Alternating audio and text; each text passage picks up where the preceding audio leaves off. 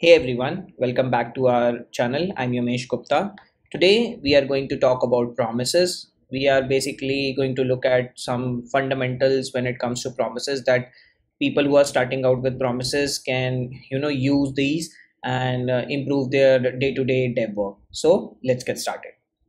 In the first example, uh, we have two functions here. Uh, first function that is in this we are resolving and returning a value and a second function that's taking value as input and adding one and returning it resolving the promise. So on line number 11 we call the first function. We get the output from the first function. We pass that to the second function. In the second function we are getting the output of the second function on line number 13 and we are just printing it out. So if i run this code now then we are getting the output as 2 so the concept here is that a lot of people feel that you need to you know return a promise from every function so that uh, the then chain can be maintained that uh, we are returning a promise for first from first function so there is a then. We return a promise from the second function so there is a then on line number 13 but that's not entirely true. So if i want to you know i can just simply return value dot one and if i run this code now then also we are getting the same output the two. This is so you can understand it like that. So the basic concept here is that from the then callback the callback we are passing to then we don't have to return an explicit promise from the function. We could but it's not necessary because uh, in the most layman language it is more like then wrapped promise callback and we are calling so basically the callback we provide to then is wrapped inside the promise and it is this uh, promise wrapped promise is resolved with the output of the callback function. So if we are returning value dot plus one that act as an input for wrapped promise and when it is resolved we get that output in the second then. So uh, to showcase that if I return nothing from here let's say and if I run now then the output is undefined. The value 2 is undefined because from second function we are not returning any value. And so the wrapped promise is resolved with undefined. And so we are getting undefined. Also you now you must be thinking that if we can return directly return a value from here maybe we could we could do the same from the first function.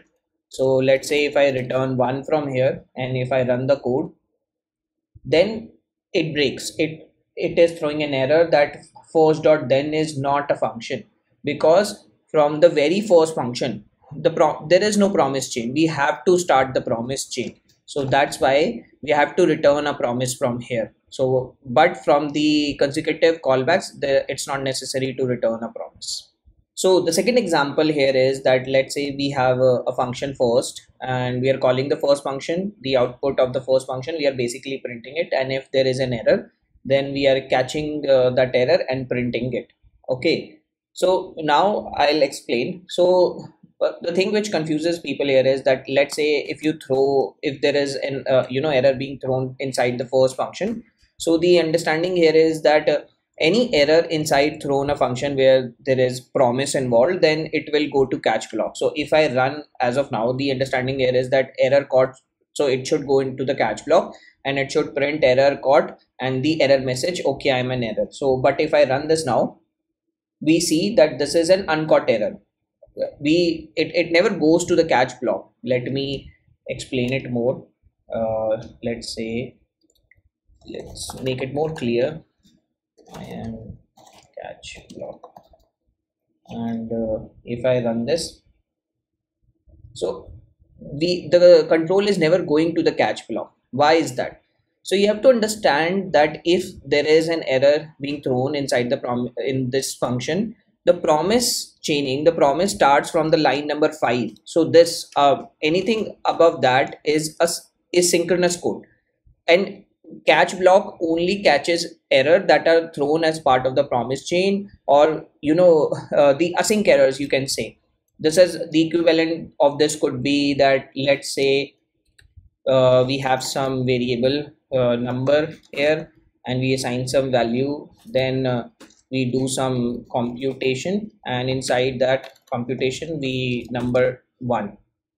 And uh, now we pass this maybe resolve this this value. So basically uh, and if we run this now so this this should throw an error. And if we run this now then again it's an error. It's it's not going to the catch block. Uh, the error message might be misleading here but it's not going to the catch block. That's the main concept here.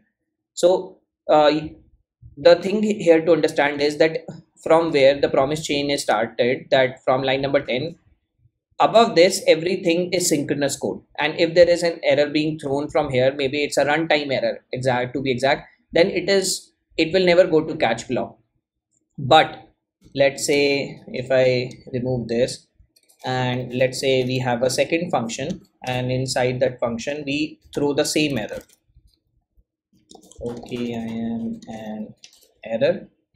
And uh, in this we have we call the second function and we run the code now.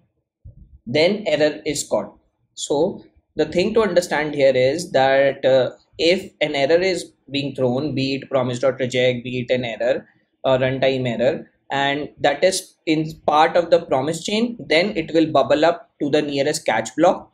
But if it is, the error is thrown outside the promise chain from line number 4 to 9 because our promise chaining is starting from line number 10 then any error occurred here will not go to catch uh, to the catch block. So the next one is try catch with promises. So we work with the promise api we work with async await. So uh, let's say we have a function first function here. Inside that function we are returning the second function. Uh, inside the second function we are basically rejecting a promise with a message. And uh, if there is an error we have a try catch block to print the try catch and the error. And if it's uh, successfully resolved then we go to the then block on line here line number 16 and if there is an error uh, it bubbles up then we have a main catch block here at the last. So if i run this code as it is what do you think should be the output? So if we reject a promise from line number 4 then should it uh, go to line number 11 or should it go to uh, line number 18 what do you think?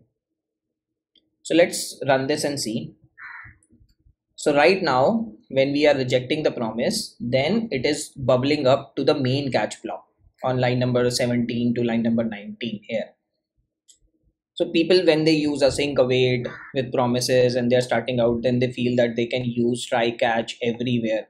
So you have to understand that when you are uh, returning a promise here from here then try catch are mainly for synchronous errors you return uh, so if it re rejects promise dot reject then it bubbles up to the nearest catch block of the uh, then chain.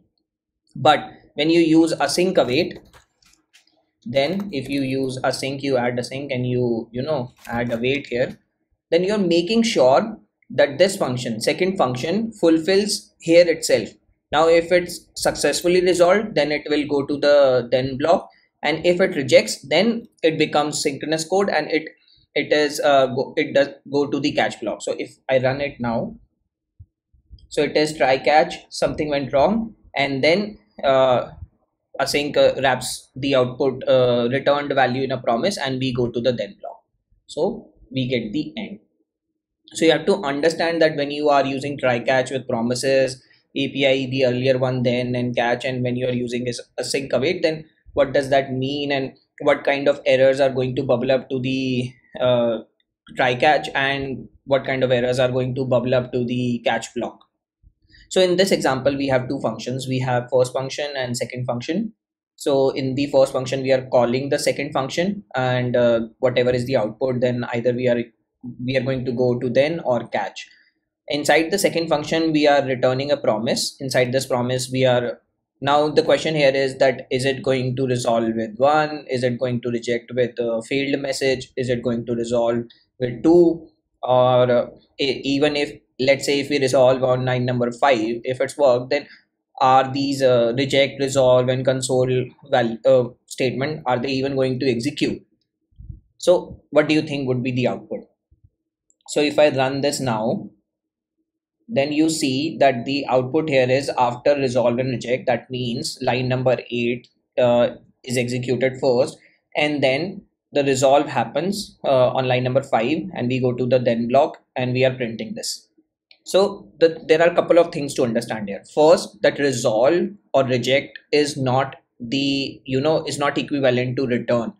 That if we return from any function if we let's say return from here then this this code is not reachable from line number 5 to line number 10 that is not the same when you resolve. If you resolve from a you know this callback uh, which you are passing to promise that doesn't mean that anything else uh, anything below that is not going to execute. If you have to if you want to do that then you have to return resolve. You have to return that value. So if i do now then we are only getting one. So that's one. That resolve is not returned now the second thing is that now if we are resolving here then we are rejecting and then we are resolving again. So why is it we are getting the value one? Why we are not getting the second result? That's it because you can only you can either resolve a promise or reject a promise and that too um, max one time. You cannot you know resolve multiple times or you cannot reject the same promise multiple times if i remove or comment line number five then it is going to go to the catch block that this uh, this uh, line 8 number is here called then it will go to the catch block if i remove this then it will resolve with the value 2 and if I remove this, then the promise won't be getting resolved.